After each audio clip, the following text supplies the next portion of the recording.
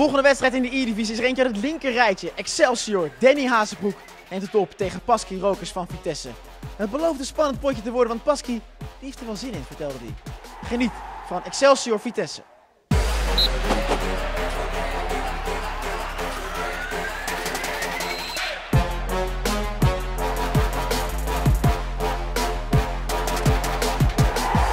En de handen zijn al geschud. Excelsior Vitesse. We mogen het met recht toch wel een, eh, een subtopper noemen.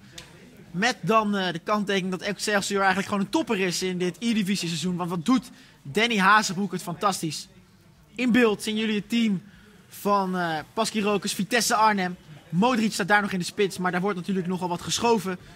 Neymar en Bill ook allemaal aanwezig, grote namen. En daar zag je hem al even Cristiano Ronaldo in het shirt van Excelsior. De teamnamen die vallen wel op bij Excelsior Vitesse. Broekizan tegen Motterzedan. Bijzondere namen. Hier eh, eigenlijk de bekende switches in formatie en dus ook in eh, opstelling van de spelers. Beide kiezen voor twee spitsen en een nummer 10. Bij Excelsior Bill, Ronaldo en Griezmann. En bij Vitesse Neymar, Bill en daarachter de Argentijn Paulo Dybala. In Kralingen. Het virtuele Kralingen is afgetrapt. Excelsior, Danny Hazebroek, de nummer 3 van deze E-divisie. En die heeft meteen het eerste schot op doel. Echt al binnen de minuut. Zelden vertoond. Stoomt meteen op door het midden. Maar de redding is er van eh, de Vitesse goalie. Pasky Rokers nu hier in balbezit nummer 8 in de E-divisie. 18 punten heeft hij achter zijn naam. 8 minder dan Danny Hazebroek. Dit is 26. En bij winst van Vitesse kan Pasky omhoog kijken. Het is een eh, sleutelduel zou je kunnen zeggen. Vier wedstrijden nog te gaan. Deze meegerekend. En misschien is dit duel wel bepalend of Pasky uiteindelijk eh, in dat linker rijtje gaat eindigen. Of dat hij toch genoegen moet nemen met plek 10-11. Het zou een knappe overwinning zijn, want verliezen dat doet Danny Hazebroek eh, bijna niet. Vandaar natuurlijk die top 3 klassering. Dat is natuurlijk voor Excelsior een prachtig gegeven. Achter Ajax en achter Heracles.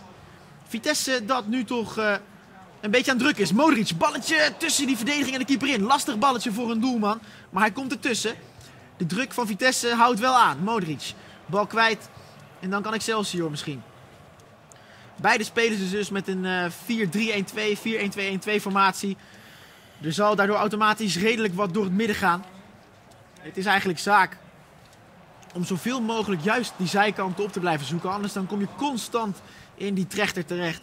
Ik ben benieuwd wie daar eh, ja, het meest naar kan handelen. Vitesse nu de bal kwijt en dus Excelsior weer. Strakke paas richting Garrett Bill. Daar was Ronaldo, maar die verliest het duel. En dan gaan we weer naar de andere kant. En zo zie je telkens datzelfde patroon van eerst die spits inspelen. Wachten tot het middenveld bijsluit. En zo proberen zo snel mogelijk richting die 16 van de tegenstander te tikken. Hier de goede bewegingen. Neymar, prachtig.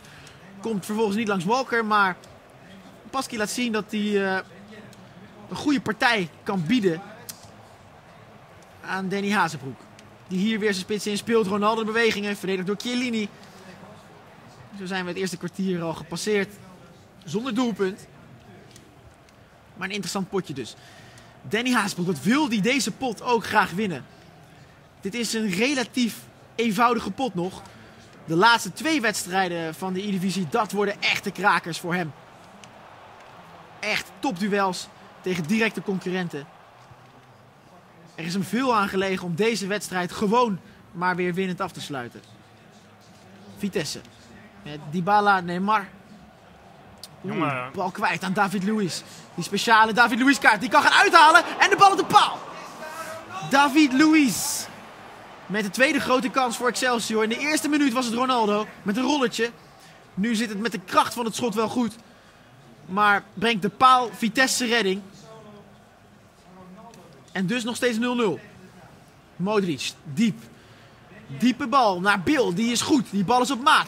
Alaba kan het niet belopen. Bill met de bal tussendoor. Nee, maar. En dan is het eh, geen 1-0. Of geen 0-1. Omdat de Gea hem toch nog heeft. Maar daar zag het er even heel penibel uit voor Excelsior. Goede aanval van Pasky. Durfde het aan met die hoge bal. Het balletje van Bill op Ronaldo was zowaar nog mooier. Het schot dus net niet doeltreffend. 25 minuten gespeeld en het is een mooi duel. Excelsior. Danny Hazebroek dus. Wat maakt Excelsior trots met die derde plek op de ranglijst van dit eerste seizoen E-divisie.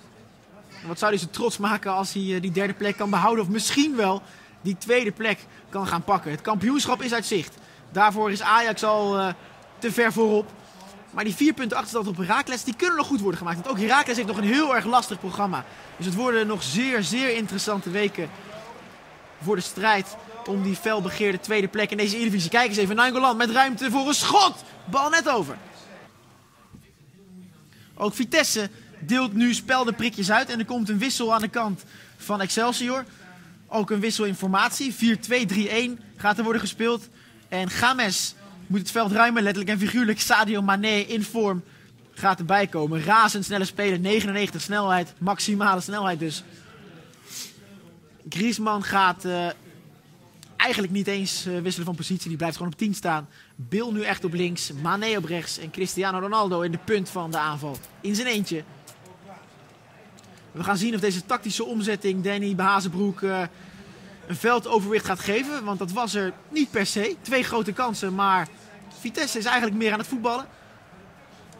Of is dit een uh, keuze die Paski juist wat meer kansen biedt?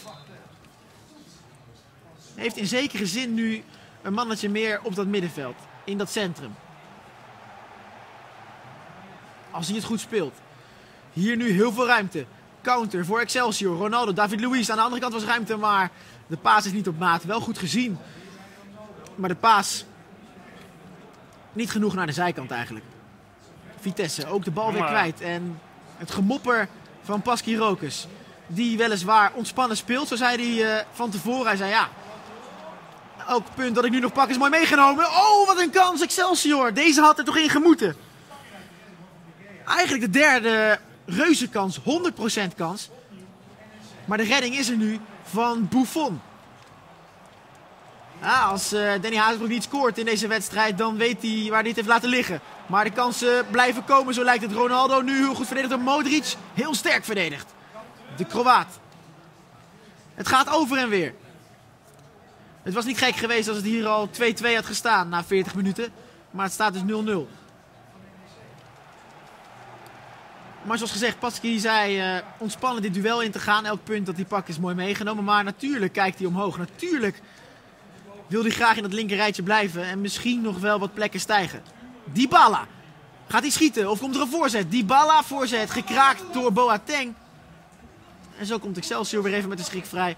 Het golft op en neer. Het is een leuke wedstrijd tussen Danny Hazenbroek en Paski Rokers.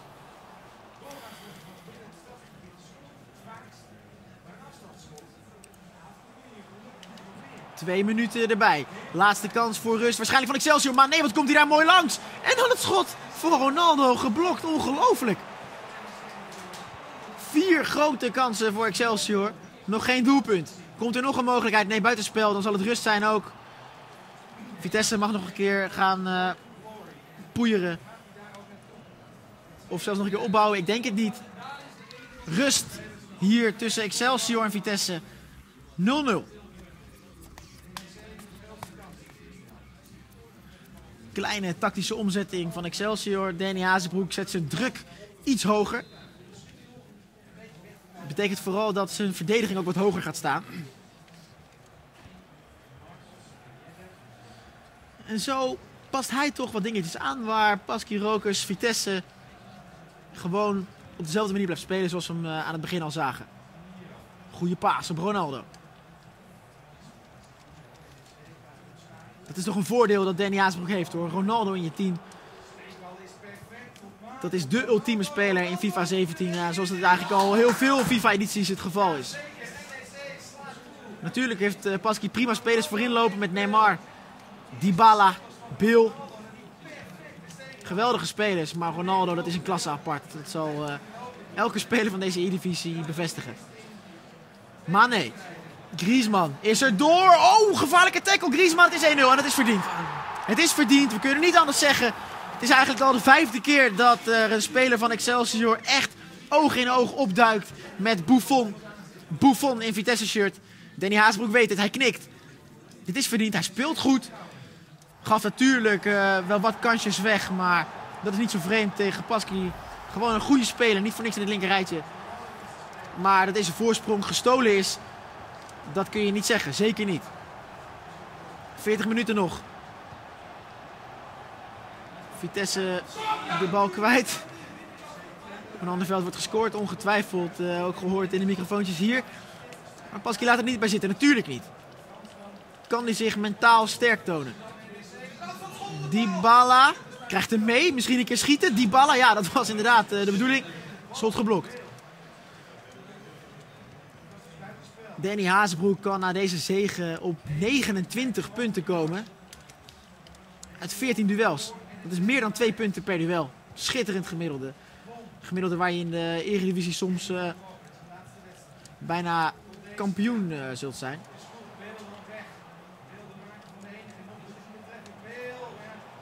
Maar Ajax is natuurlijk uh, te sterk dit seizoen. Herakles staat er nog boven. Maar Herakles heeft met AZ een heel lastig programma dit weekend. Deze speelronde. Dus het zou zomaar kunnen dat Danny Hazebroek hele goede zaken doet in deze speelronde. Herakles AZ op dit moment dat deze wedstrijd wordt gespeeld nog niet afgewerkt. Maar het wordt een wedstrijd waar Danny zeker bij gaat zitten kijken. Voor hem heel belangrijk wat daar de uitkomst van wordt. Zal hopen op een overwinning van Aristot Ndunu van AZ. Dit is een goede aanval zeg. Prachtig gespeeld door Vitesse. En het is 1-1. Want hier is Neymar. Jazeker. 1-1. Vitesse. Met de derde, vierde grote mogelijkheid van deze wedstrijd. Het is een gelukje. De aanval ervoor was uh, schitterend. Schot van Nangolan nog gekeerd. Neymar is er als de kip erbij. 1-1. En dan moet Danny weer. Hij moet. En ondertussen ook nog uitkijken dat je niet tegen een counter van Vitesse aanloopt. Want met Neymar, Bill en Dybala vooral hele snelle spitsen daar bij Vitesse. Oh, paas van Alaba wordt zomaar uh, onderschept door een eigen speler.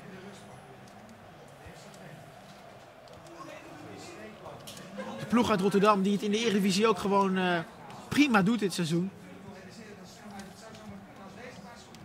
Want uh, als Excelsior niet degradeert, is dat gewoon weer een prima prestatie. In de E-divisie is het dus heel anders. Danny Haasbroek doet prachtig mee om de plek bovenin. Nainggolan voor Vitesse. 20 minuutjes nog te spelen. Als er nog een doelpunt gaat vallen, is dat hoogstwaarschijnlijk de beslissing in deze wedstrijd. En ik voel hoe dan ook, bij wat voor doelpunt dan ook, aan welke kant hij ook valt. Ik voel een oerkreet aankomen hier. Casemiro. Alexandro. Chiellini. Oh, bal kwijt. En dat kan zomaar een dure zijn. Maar Vitesse herovert de bal meteen weer. Die balla. En dan kan hij daar vallen. De bal op de lat of de paal. Wat was het? Misschien wel allebei.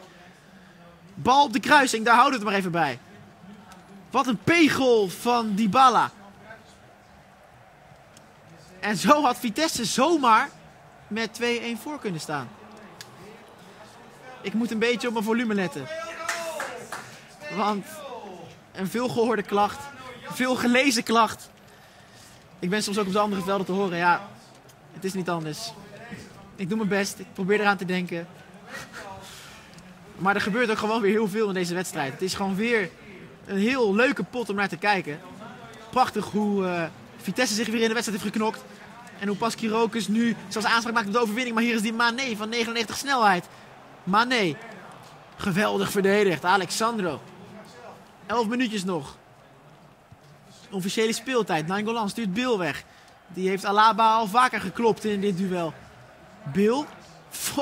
Bill is echt een klasse beter dan Alaba. Maar die vecht zich geweldig terug. Ingooi voor Vitesse. Op een uh, plek die perspectief biedt. Garrett Bill. Nangolan sluit bij.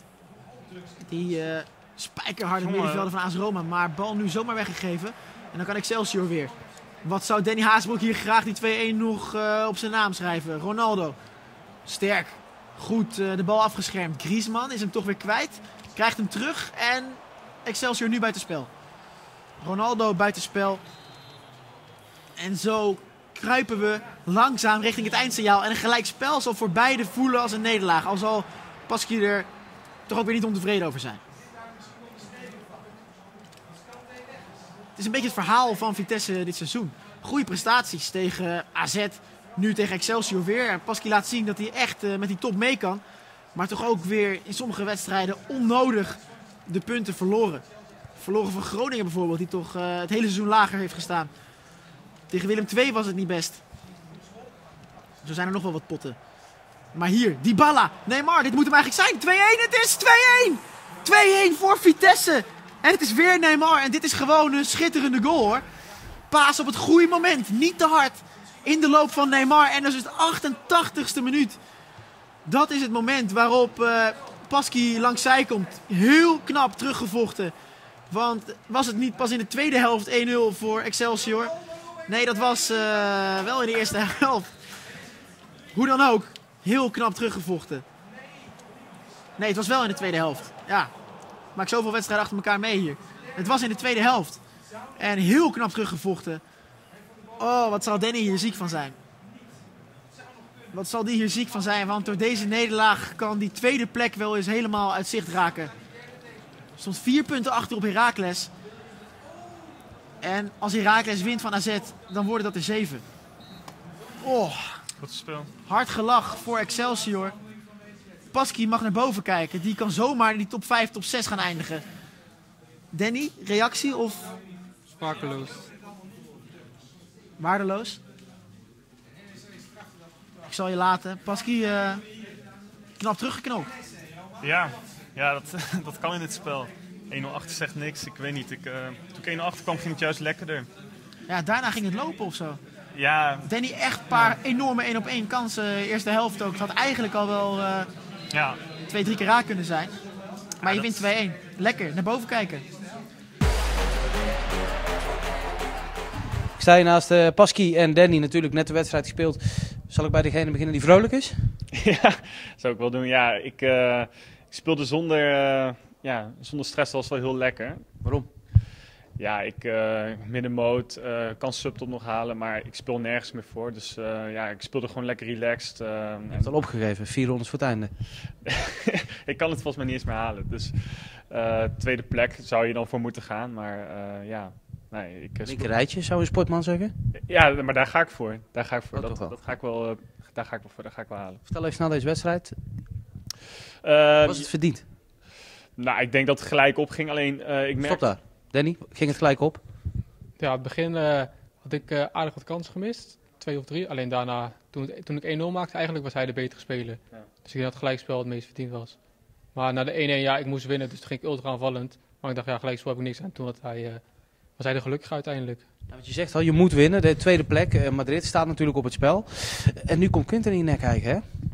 Ja, maar ik moet nog tegen Quinten, dus ik heb het nog in eigen hand. Ga je hem pakken? Maar we gaan het zien. Maar wat denk je? Rotterdamse derby? Ja, ik ga alles geven. Ik hoor nog steeds niet dat je zegt, ik ga me helemaal kapot maken. Nou, ik heb het de vorige keer ook gezegd en toen ging het niet goed, dus dit hou ik me in. Je hebt geleerd. Kun je dit uh, verlies wel een beetje goed wegzetten?